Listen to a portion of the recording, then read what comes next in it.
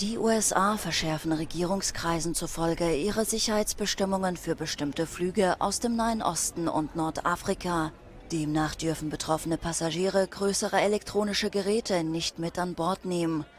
Tablet, Computer, Laptops und Kameras müssten mit dem aufgegebenen Gepäck befördert werden, sagten mehrere US-Regierungsvertreter am Montag. Mobiltelefone sind ihm zufolge nicht betroffen. Anlass sei eine nicht näher ausgeführte Terrorgefahr, von der die Regierung vor einigen Wochen erfahren habe. Fluggesellschaften aus Jordanien und Saudi-Arabien bestätigten die US-Maßnahmen.